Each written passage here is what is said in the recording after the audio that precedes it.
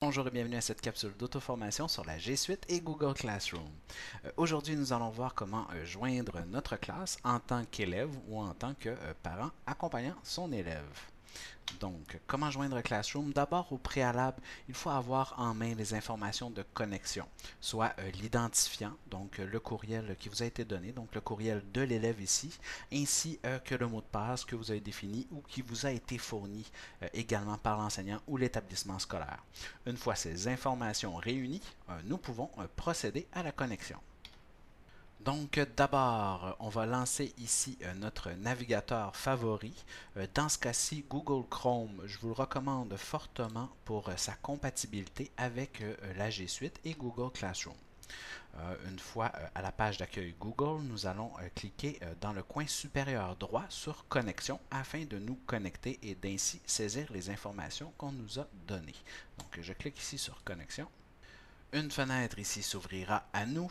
Euh, il va nous demander ici de saisir notre adresse email. Donc, vous saisissez l'adresse euh, courriel qui vous a été euh, fournie. Donc, une fois qu'on l'a saisi, on clique sur Suivant. Ensuite, on vient ici saisir le mot de passe et on reclique sur Suivant.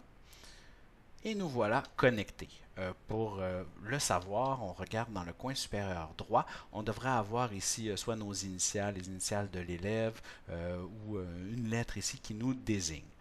Maintenant, pour pouvoir accéder à Google Classroom, on va cliquer sur euh, ici la grille d'application. Donc, euh, je clique sur la grille d'application.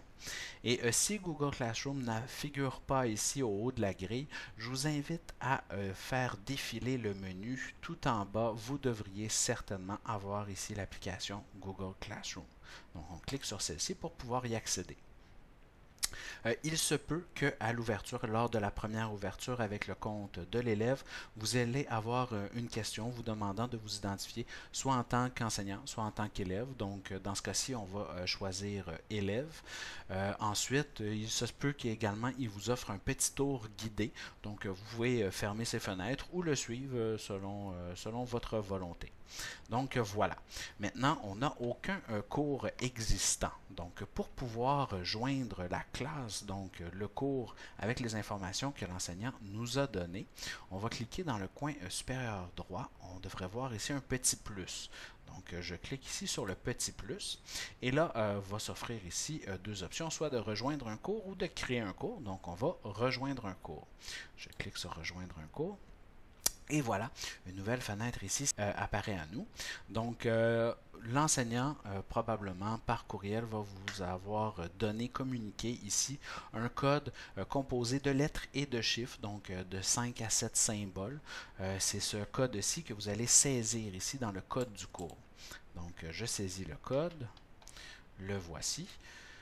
Voilà. Une fois fait, on clique ici sur Rejoindre le cours, en haut à droite.